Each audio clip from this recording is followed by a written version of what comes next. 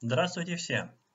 Сегодня у меня в плейлисте Pink Floyd, и это не случайно, как говорится. Дело в том, что, помнится, в прошлом видео я сказал, что Дэвид Гилмор, точнее не я сказал, а один сайт сказал, официально заявил, что Дэвид Гилмор играет в соло в Another Break in the Wall Part 2 на Лисполе, на Гибсоне, с такими звучками, с таким звуком, как будто это стартакасер. И на записи это действительно слышно. Отчасти этому, а в общем и целом сравнению Фендера, стартакасера, Гибсона или Спола, ну, скажем так, в целом стартакасера или Спола модели этих гитар, этих моделей гитар, будет посвящено сегодняшнее видео. Я даже составил его списочек. Тут 13 пунктов, более-менее. И по ним мы и пройдемся. Постараемся достаточно быстро, чтобы не утомлять ни вас, ни меня. Ну что, давайте по порядку. Что же нам интересного могут рассказать эти пункты, этот листочек бумаги? Итак, первое. Страт, треугольник или спол, овал. Что я имею в виду? При записи вы сможете увидеть, что страт даст вот такую диаграмму, а леспол вот такую. Что нам это дает? Ну, собственно, мы можем увидеть характер звучания. Но дело в том, что на слух нам это будет воспринять очень сложно, если это вообще возможно. Поэтому по большому счету диаграмма остается просто диаграммой. И нам от нее никакой особой пользы нет. Вот, например, мы дернем струну на электрогитаре, не подключенный, а потом дернем на подключенный. Будет совсем другой звук, совсем другая длительность звучания ноты, четырехфазная, которую я рассказывал как раз в предыдущем видео, где был и принос Break in the Wall. И таким образом сразу возникает вопрос, а что же собой представляет электрогитара? И почему Paul Stratocaster, вроде такие разные по форме и по содержанию, звучат по сути, по крайней мере на записи, очень похоже. Ну что значит похоже? Мы сейчас с вами пойдем дальше по пунктам. Последовательно до самого конца. Второй пункт. Компрессия от шумоподавления, хамбакер. Что это означает? Это означает, что хамбакер – это шумоподавитель в переводе. Шумоподавление, как мы понимаем, это такой вид компрессии. Когда убираются лишние шумы, ну, не всегда, конечно, может быть просто шумоподавление. Ну, по большому счету это тоже идет компрессия. Компрессируются звуки, сжимаются – уменьшаются или вовсе удаляются, то есть задвигать это на задний план, либо если они просто удаляются, это можно не рассматривать как компрессию, но в случае с лесполом компрессия как раз таки происходит, потому что со звукоснимателями хамбакеры вот эта вот диаграмма у стартакастера, помните, да, треугольничек? Он как бы сжимается, то есть убирается верха и низа у этой диаграммы, снизу и сверху она обрезается, и вытягивается за счет чего увеличивается длина звучания ноты, так называемый sustain. Но об этом я говорил в предыдущем видео, если вам интересно, что такое sustain на самом деле, посмотрите его, и думаю, вам может быть интересно. То есть получается, что это искусственное преобразование, но на слух-то оно все равно не воспринимается. То есть мы можем услышать отличие звучания леспол и таракатер, особенно если они не перегруженные играется без перегруза, без дисторшена, без овердрайва. Но на деле, когда это воткнули, это воткнули, это включили, различия как-то стираются. Три. Время звучания четырехфазное, одинаковое. Да, об этом я как раз говорил в предыдущем видео. Если вкратце, то берете хотя бы ноту, я не знаю, ну си, последнюю туда, ближе к концу грифа на 19 ладу на первой струне. Заставляйте ее звучать как можно дольше, а потом тем же боем, тем же приемом заставляете звучать как можно больше ее на лесполе. Если первый был стартокастер, второй леспол. И получаем одинаковое время звучания. То есть от самого начала, от атаки до конца затухания, она будет звучать одинаково. Почему? Мензура почти не ощущается. Сравнение гитар. Ну да. Я вот играл и на мензуре 629 мм лесполовской с девятками, и на стратокастере с десяткой, с мензурой 648 мм. Казалось бы, должно быть огромное отличие. Ну, стратокастер просто физически должно быть сложнее, там нужно сложнее зажимать струны, делать бенды. Я такого не ощутил, иногда мне даже сложнее играть на лесполе, в зависимости, наверное, от моего состояния, самочувствия. Ну, что тут можно сказать? Я поднял струны у стартокастера, то есть когда я поднял струны у стартокастера, играть мне на нем почему-то стало попроще. Ну, мне. Тогда, в тот момент. До этого казалось, что вроде бы проще играть с пониженными струнами, когда они более низко находятся. Дело в том, что некоторые рифы, некоторые пассажи играть проще с поднятыми струнами некоторые с опущенными. Из-за этого меняется характер звучания, меняется график. Э, можно, я думаю, это увидеть э, на записи. Ну, по крайней мере, на слух ты это точно ощутишь. Особенно у неподключенной гитары. Вы услышите, как они становятся более глухими, если они низко опущены. Звон может появиться. А когда высоко они, это более кристальные, более звонкие. Дело в том, что у Леспола все наоборот. Если у него высоко струны, то они становятся более гнусавыми, более низкими. Если ниже их опускаешь, они становятся размытыми, ну, как, собственно, и у стартокастера. Просто у Леспола, почему-то, когда их поднимаешь, они повышаются его... Лесполов, как ее называют, гнусавость, там, я не знаю, что там, басовитость. Ну, басовитость это вряд ли, по-моему, басов одинаково и, на той, и у той гитары, и у той. А у стартокастера повышается кристальность. Но не всем удобно играть с высоко поднятыми струнами, и не всех удовлетворяет звук. Компрессоры и приставки изменяют звук. Да, это действительно так.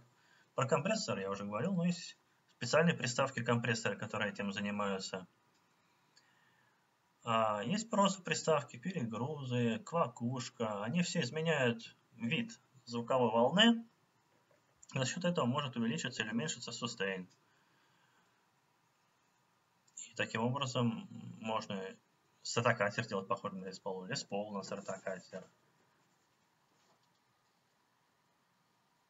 Можно отредактировать. Да, ну, главное разобрать, что, я написал. Можно отредактировать, да, в редакторе, особенно на звукостудии, да и себя на домашней студии сейчас это вполне возможно. Можно очень легко отредактировать то, что мы слышим. Поправить, увеличить сустейн, там подрезать, тут скомпрессировать. Запись складывает звучание. Угу. Попробуйте послушать на нормальной громкости, то есть даже не нормальной, а на большой громкости. Можно в наушниках, можно без наушников, чтобы вам лишние шумы не мешали. Бывают ли они не лишними в этом случае. Чтобы вам лишние шумы не мешали, послушайте на нормальной, приемлемой для вас хорошей громкости, так чтобы не было слышно, ну или почти не было слышно звучание самих струн, а было слышать только звучание электрогитары из комба. А потом запишите это и послушайте на, той же, на том же уровне громкости на записи, на тех же децибелах. Желательно так же, если слушать в наушниках, то в наушниках, если вживую, то вживую, из того же комба, из того же компика. И сравните.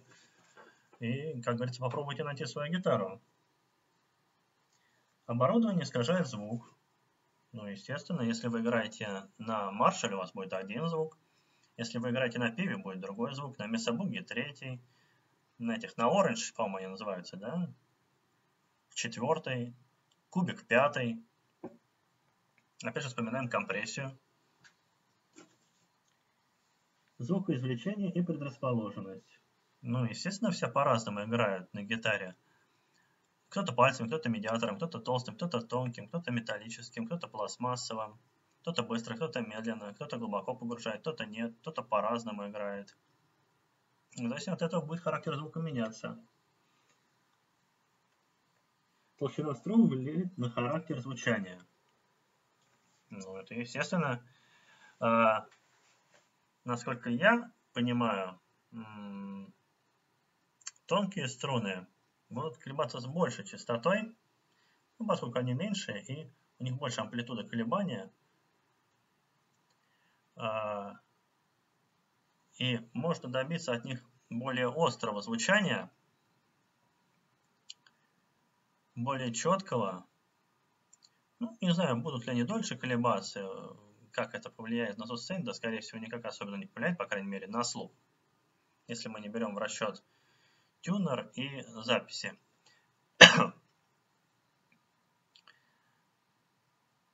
Ну, это все можно увидеть на записях, на графиках, я имею в виду. На тюнере, но слух-то ничего не поймет. А если мы еще и на рок-концерте, где музыка орет, как, не знаю, на Кисс или на Aerosmith, ну, на Рейнбоу ладно. Но все равно там что-то как-то это не очень слышно. Но на или на Aerosmith, извините.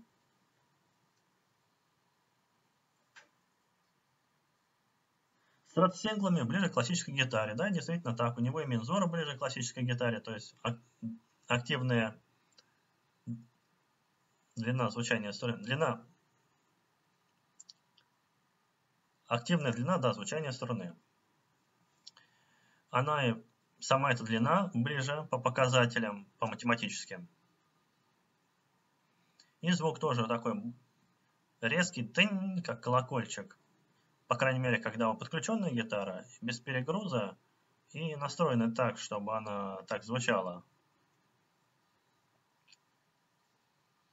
У Paul, соответственно, меньше мензура и ну, не так он звучит, как классическая гитара. Совсем не так. То есть саратокастер, по сути своей, должен быть, саратокастер с синглами, должен быть ближе к классической гитаре, гитаре такой, какой она задумывалась изначально создателем, собственно, этого инструмента. Уж не знаю, кто он такой, но большое ему спасибо за все сложности и радости этого инструмента.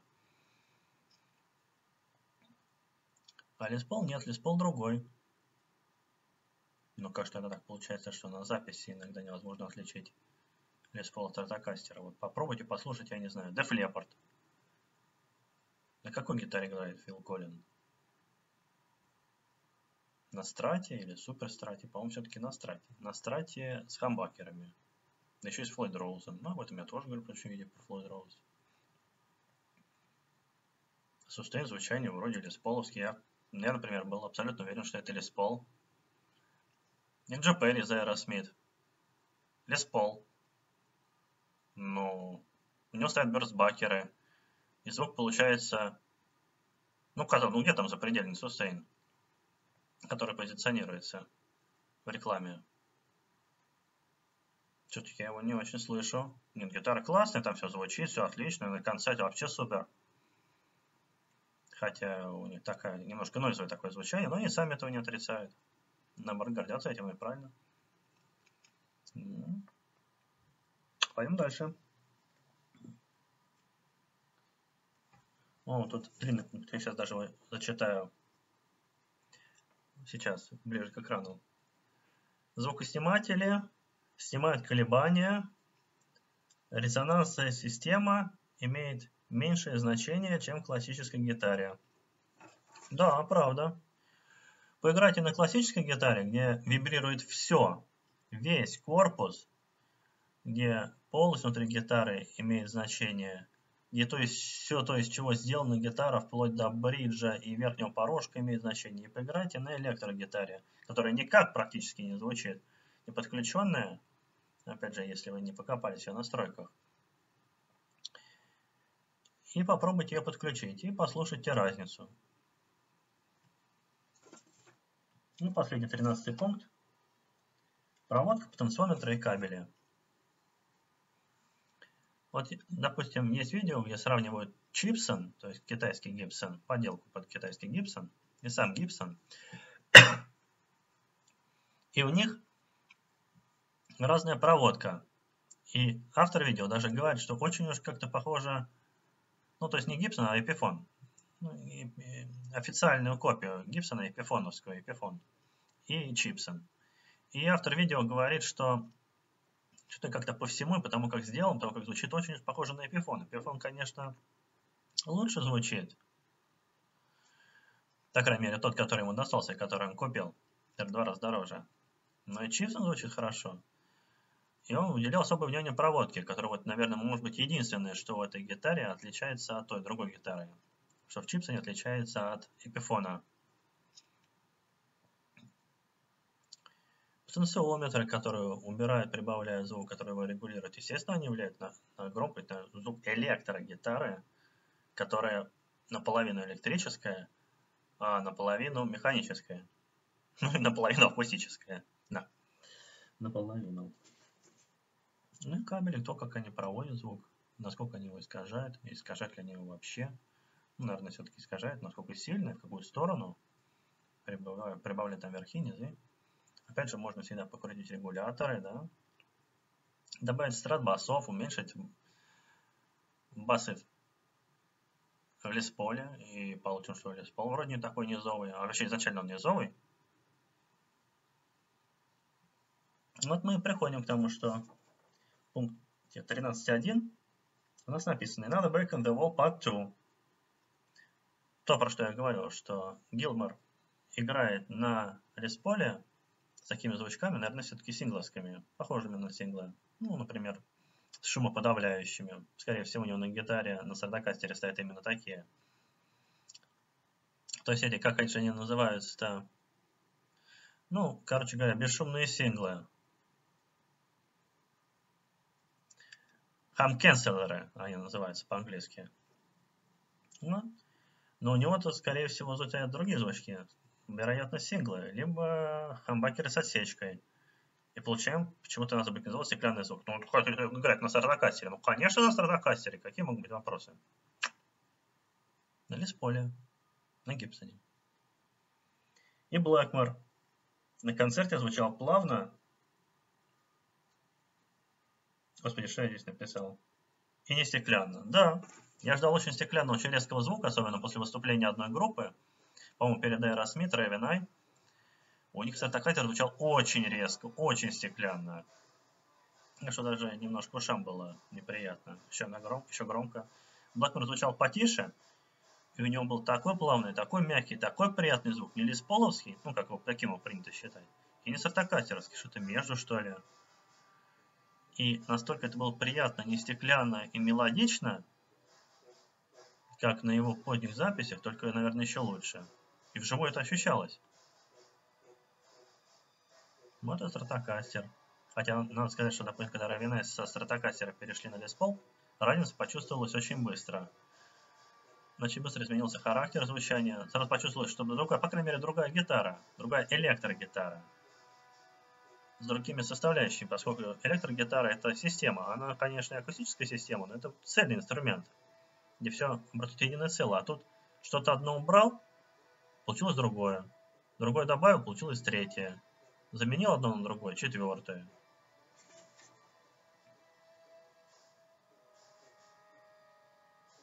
Ну, в заключение все-таки хотел бы сказать в качестве постскриптума. Так что же, понятие сустейна и атаки они запутанные. Это путаница. Мы сами себя ввели в заблуждение, или нас ввели в заблуждение. Что такое хорошая атака? Хорошая атака это которая уходит резко вверх, далеко, и потом после нее идет долгий спад до ноты, которая, собственно, интересует музыканта. Или хорошая атака, это которая быстро входит в ноту, и приводит при маленьком спаде к сустейну. Я сейчас, кстати, описал, как звучит э, на графике стратокастера сначала, а потом лиспол. Так у кого из них лучше атака? У того, э, который... Если музыка слышна, не обращать внимания. Мы уже заканчиваем. так у кого же из них лучше атака, и у кого лучше сустейн, и какое-то вообще имеет значение, если ты можешь увеличить сустейн, допустим, бендом на лесполе, не на стратокастере, и добиться одинаковой длины звучания ноты. Четырехфазной, хоть не четырехфазной. Тут, наверное, главное, как играть. Попробуйте настроить одинаково оборудование. Ну, что значит настроить одинаково? Настроить как-то оборудование, ну, как вам нравится, допустим. И постараться одинаково по громкости, по положению звучков, возможно, если они одинаковые. По виду струн, по их высоте. Ну, короче, вообще совершенно одинаково настроить две разные гитары, стартакатер или спол. И подключить их. И послушать друг за другом. Живу, без наушников. На одной и той же громкости. Ну, желательно, чтобы не так, чтобы орал, чтобы хотя бы что-то было слышно. И на перегрузе. И, как говорится, попробуйте найти 10 отличий. Ну, для начала хотя бы попробуйте найти 2-3. Одно-то вы, скорее всего, найдете. Это стратокастер, а это леспол. Ну вот и интересно, что же из всего этого получится из э, возможности экспериментировать с гитарой, менять гитары, электрогитары, ее гитарный звук. И что такое в конце-то концов атака и сустейн? И почему Фендер и Гибсон воюют, почему Стратокастер это считается антиподом Леспола, когда Леспол может звучать как Стратокастер, Стратокастер может звучать как Леспол. И на записи, не на записи. Пусть каждый даст свой ответ сам. С вами был Григорий Неделька, он же Ган. Чао-чао.